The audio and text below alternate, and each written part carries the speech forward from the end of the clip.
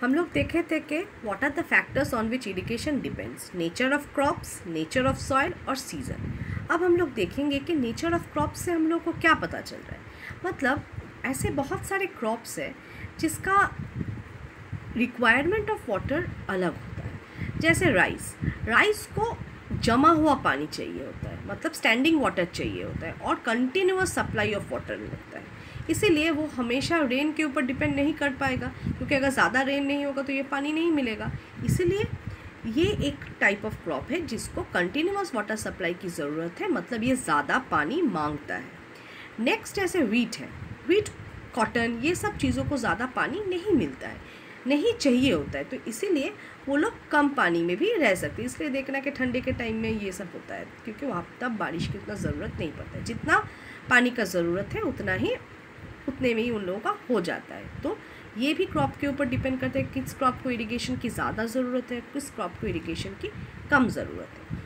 अब soil soil के ऊपर कैसे डिपेंड कर रहा है कि अब जैसे सैंडी सॉइल सैंडी सॉइल को क्योंकि इसके पास वाटर रिटेनिंग कैपेसिटी कम है सैंडी सॉइल का क्या है, वो वाटर को ज़्यादा देर तक होल्ड नहीं कर पाता है, इसीलिए उसको हम लोगों को पानी देते रहना चाहिए। नेक्स्ट जैसे क्लेई सॉयल जो कादा माटी होता है मतलब कादा जो है, होता है, जो मतलब गंगा रिवर के बेड में जो रहता है, जैसा वो रहता है, कीचड़ मतलब जो टाइप है तो उसका जैसे वाटर को पकड़ के रखने का जो क्षमता है, वो बाकियों से ज़्यादा है।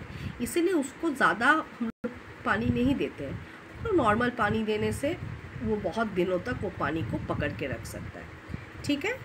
अब अब है season based season based irrigation क्या है?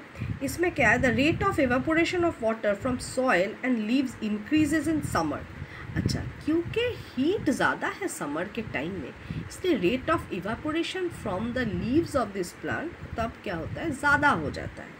इसीलिए क्या है, पानी वो लोग छोड़ने रखते हैं इसलिए समर में उन लोगों को ज़्यादा फ्रिक्वेंट पानी देने की ज़रूरत पड़ता है। जैसे देखो ना, जब गर्मी बहुत लगता है, हम लोग भी ज़्यादा पानी पीते हैं। वैसे भी प्लांट का भी इवापोरेशन के थ्रू लीव्स से पानी जो है वो छोड़ने लगते हैं वो। इसीलिए उन लोगों को कंटिन्यूस सप्लाई ऑफ़ वाटर चाहिए होता है। उन लोग उनको वाटर देते रहना चाहिए। ठीक है?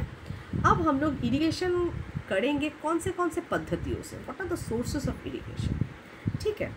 जैसे कुछ ट्रेडिशनल मेथड है। ट्रेडिशनल मेथड मतलब जो आधे बहुत पुराने टाइम से यूज़ होते जा रहे हैं and which is very convenient source of using irrigation जैसे क्या है, मोट मोट क्या है देखो, यहाँ पे मैं सब फ़ोटो दी हुई हूँ मोट एक पुली सिस्टम है जैसे कुएँ में जैसे हम लोग ऐसे चक्का रहता है, व्हील, वहाँ से हम लोग खींच खींच के पानी लाते हैं, वैसे ही ये है It is also called the pulley system. system. It involves pulling up of water from a well or other source to irrigate the land. देखो, जैसे यहाँ पे वो चेन पंप यूज़ किया है, ढेकली यूज़ किया है, इससे क्या होता है, ये एक वाटर बॉडी के साथ कनेक्टेड है और इस पुली के माध्यम से क्या होता है? ऐसे ऐसे घूमता है पुली जब पानी उठता रहता है और यही पानी जो है हम लोग यूज़ करते हैं टू इरीगेट द फील्ड्स ठीक है? जैसे चेन पंप देखो, यहाँ पे चेन पंप का फ़ोटो है।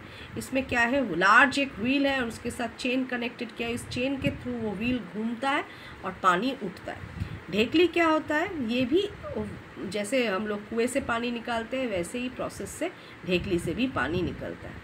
और एक तो है राहत, ये भी एक वैसे ही पुलिस सिस्टम है, जिसके थ्रू पानी वो लोग निकालते हैं और इजीली फ़ील्ड में डाल सकते हैं। तो ये सब अप्लायंसेस ये सब चीज़ें, किस किस चीज़ चीज़ से चलता है? What is the source of this of the energy इसमें क्या है? डीजल इलेक्ट्रिसिटी सोलर एनर्जी, ये सब यूज़ होता है, ये सब पंप्स को चलाने के लिए। डीजल से भी चल सकता है, जनरेटर कनेक्ट करके चल सकता है, इलेक्ट्रिसिटी से चल सकता है, डायरेक्ट इलेक्ट्रिसिटी दे रहे हो, और सोलर एनर्जी से भी ये चलता है, ठीक है?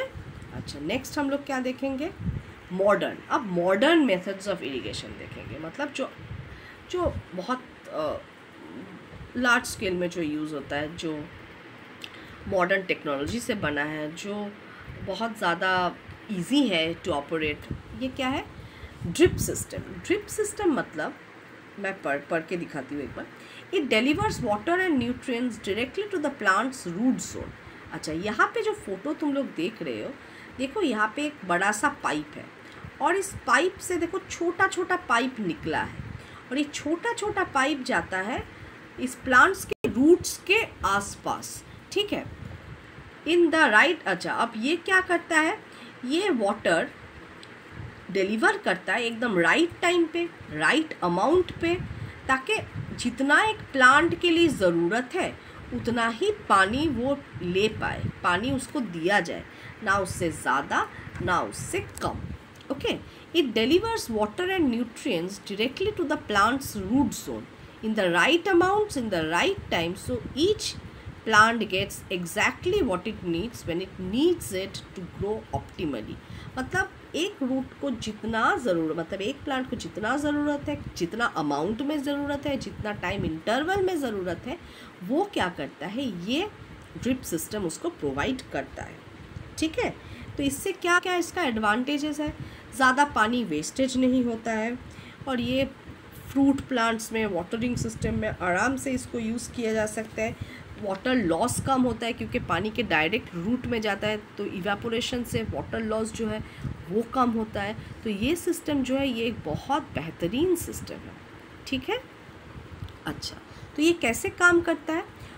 How does it work? Water and nutrients are delivered across the field in pipes called drip liners.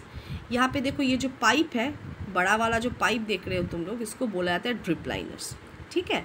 Featuring smaller units known as drippers यहाँ से जो छोटा छोटा इंडिविजुअल पाइप निकला है बहुत सारा, उसको बोला जाता है ड्रिपर्स ठीक है?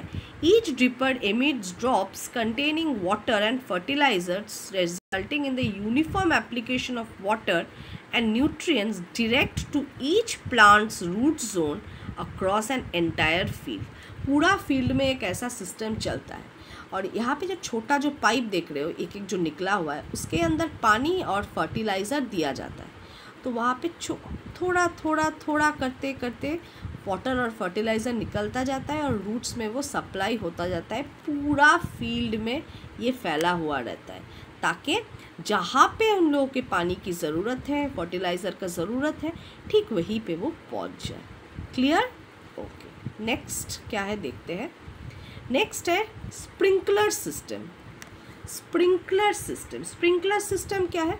Sprinkler irrigation is a method of applying irrigation water which is similar to natural rainfall जब बारिश होता है, ऊपर से पानी गिरता है और सब जगह फैल जाता है पानी, उसी कॉन्सेप्ट को यूज़ करके ये स्प्रिंकलर जो है वो बना हुआ है। यहाँ पे देखो, जो पाइप है, वहाँ से पानी ऐसे निकल रहा है जैसे पानी को रेनफॉल जैसे पानी देता है, वैसे ही पानी दे रहा है। ठीक है? Water is distributed through a system of pipes usually by pumping it is then spread into the air through sprinkler so that it breaks up into small water droplets which fall to the ground.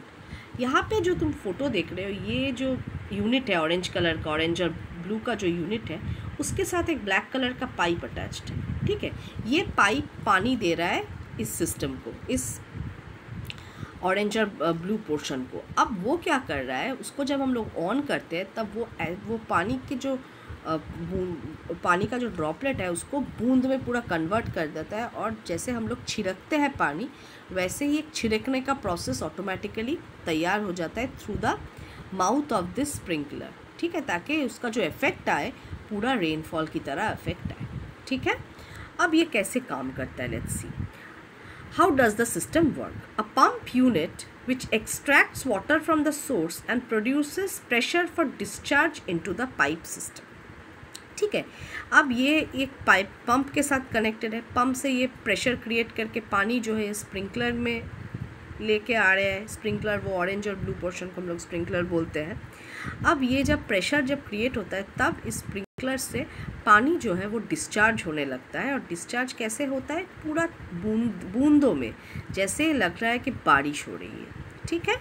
Next point क्या है? It consist of sprinklers which are the water emitting devices that transform and disperse the water jet into tiny droplets water jet मतलब water का flow flow of water को वो एकदम छोटे छोटे बूंदों में तोड़ देता है ताकि हर जगह पे इक्वल अमाउंट ऑफ़ पानी गिरे, ज़्यादा कम ना गिरे। ठीक है? अच्छा। The arrangement of sprinklers is made so as to wet the soil surface in the desired area as evenly as possible ये अरेंजमेंट क्यों किया जाता है? ताकि आसपास के जगहों पे इवनली मतलब बराबर पानी जो है वो फैल जाए और कहीं पे ज़्यादा, कहीं पे कम नहीं। और इसको हम लोग हर जगह जी हाँ जहाँ पे ज़्यादा पानी की ज़रूरत है, वहाँ पे लग जाके फिक्स कर दे सकते हैं, उसको जहाँ पे पानी ऑलरेडी दे चुके हैं, वहाँ पे, वहाँ से लेके दूसरे जगह पे ले जा सकते हैं so it's can be move so this is also a very important and effective method of irrigating the fields. So इतना दूर आज पढ़ेंगे नेक्स्ट नेक्स्ट पोर्शन मैं फिर अपलोड करूँगी. तब तक पढ़ो, कोई डाउट रहा तो कमेंट करो, कोई दिक्कत रहा तो बोलो. असाइनमेंट्स पूरा करो जब तक असाइनमेंट नहीं पूरा होगा, मैं आगे पढ़ना मुश्किल है क्योंकि मुझे पता नहीं चलेगा कि समझ में आया कि नहीं। ओके? तो तब तक के लिए पढ़ते रहो stay home stay safe and stay healthy thank you